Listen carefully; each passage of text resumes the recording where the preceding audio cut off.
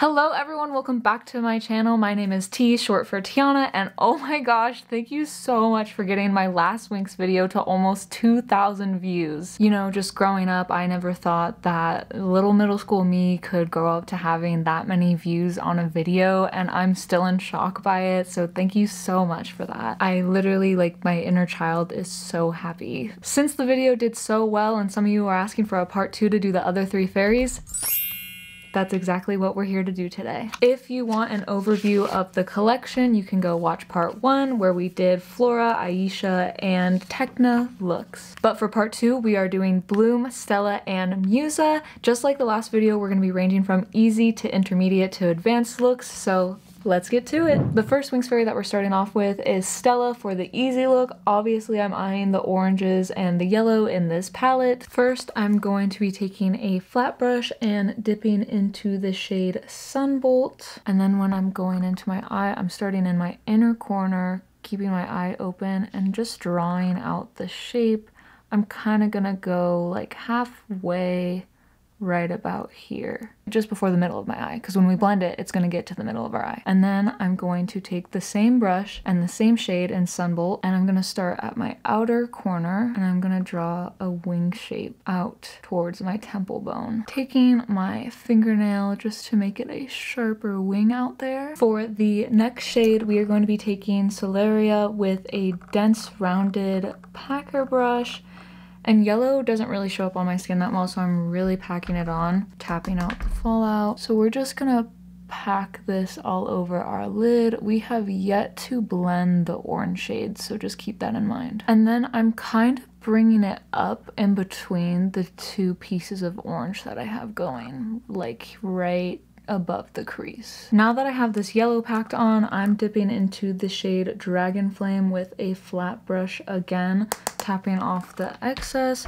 And I'm just gonna go right over Sunbolt just so I can deepen it up a little bit, just following the line that I created. And I'm not worrying too much about blending quite yet just because I'm gonna get there. Except when I'm doing the wing, I'm taking a sharp angled brush and I'm dipping into Dragon Flame again and I'm just re-going over Sunbolt from the earlier and I'm really making this more of a wing now. Now that I have my shades placed, I'm taking a clean pencil brush and I'm just lightly blending between the orange and the yellow, doing swirly motions, windshield wiper motions, and patting motions. In my last video, we talked about how to achieve a better blend, and that's by redoing the same steps that you've already done over again for another second or third time. So I'm just going over my wing drawing it on with the orange dragon flame like we already did. And then I'm taking my clean pencil brush and I'm blending it in to the yellow. Just going back and forth. It's a bit repetitive, but trust me, it's so worth it. Now that we have our orange and yellow on, I'm going to be taking the shade Pure Magic with my finger and I'm just going to be placing it in the middle of my lid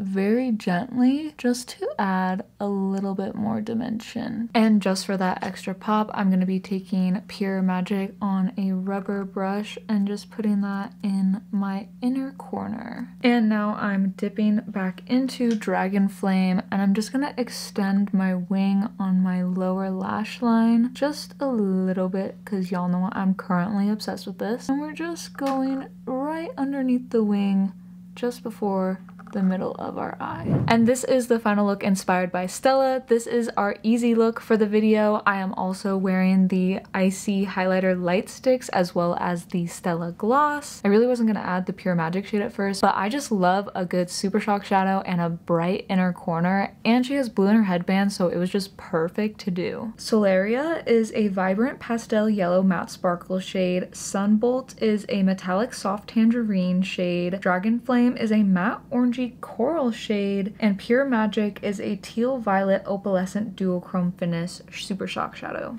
Now that we've completed Stella's look, let's move on to the intermediate look. For our intermediate look, I am going to be doing a Bloom inspired look. I am back with using a flat brush and I am dipping into the shade Dragon Flame. And what I'm going to be doing is I'm starting just above my crease and drawing a line that kind of wings out to the end of my eyebrow. Now using the same shade of Dragon Flame and an angled brush this time, I'm drawing a wing to connect the line that I've already drawn on. So we now have this sort of V shape going on with our eye. Mine ends at the tail of my eyebrow. Now we are taking a flat brush with the shade Sunbolt on it and we are just carving out a shape right above our crease. That's how I have to do it because I have a very deep crease, but again, we are just drawing this line. Feel free to do whatever suits your eye shape. Once you get to the darker orange with the lighter orange,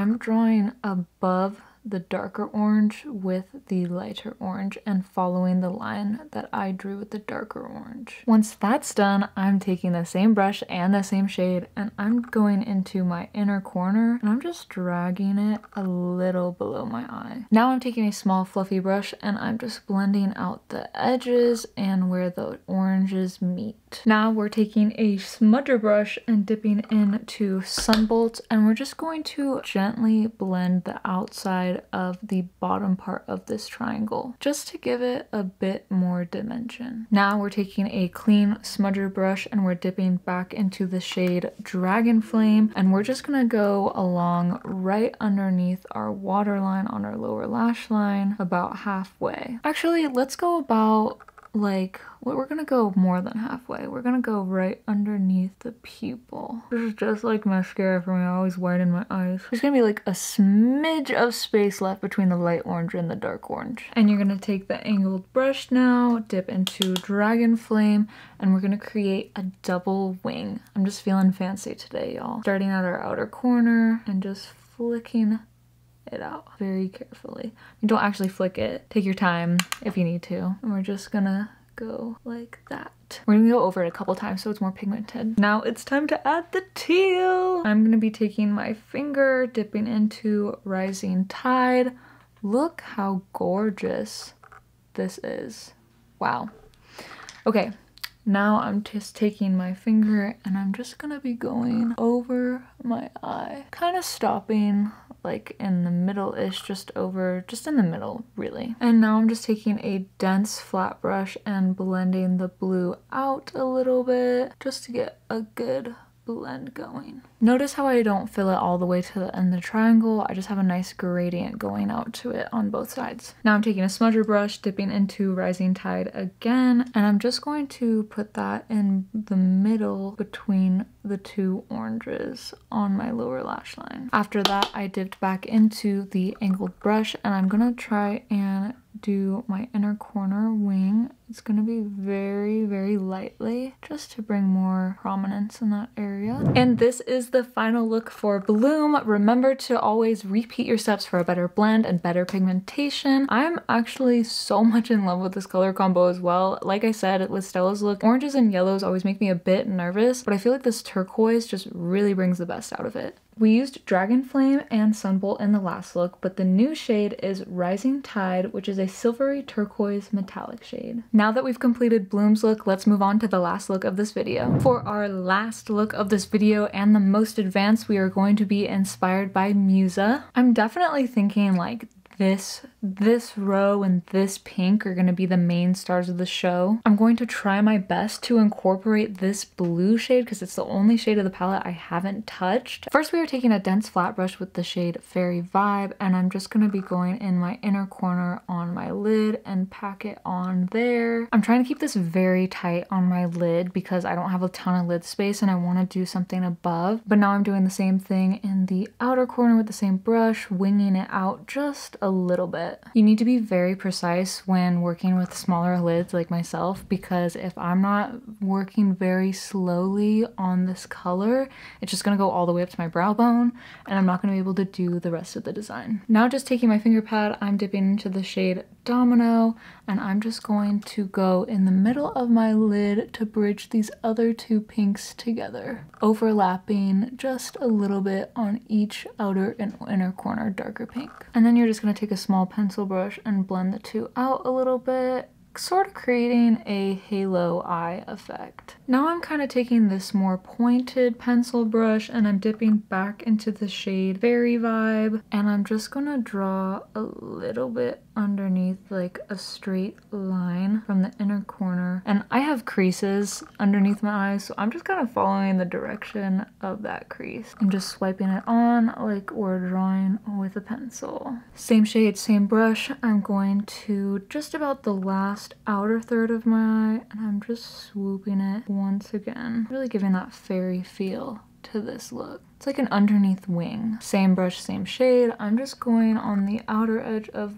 my bigger wing and just cleaning it up a little bit just to sharpen it. And I'm just smudging these out just a little bit just so they can be blended into the look a bit more. Dipped back into Domino and I'm just drawing it underneath to bring the two pink lines together. Basically having our halo eye mirrored underneath. Now I'm taking this liner brush and I dipped into the shade Sounds of Melody, keeping my face straightforward with the mirror.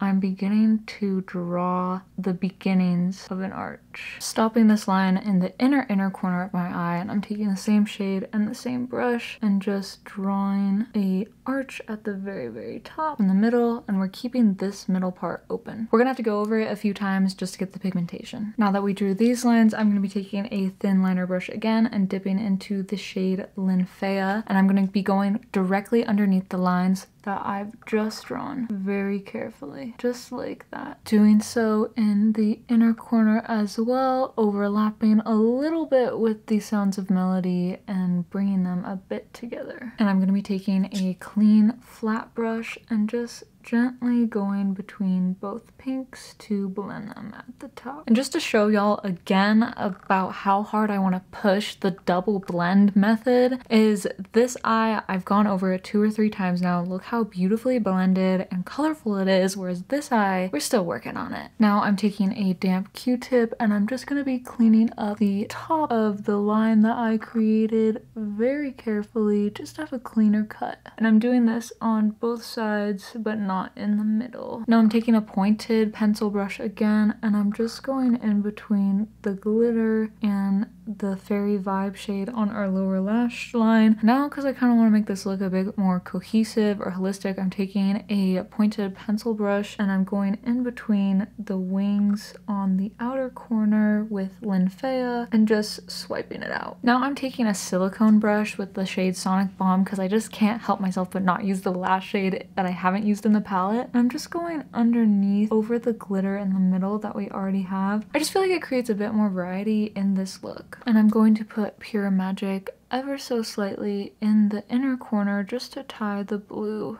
a bit more to this look.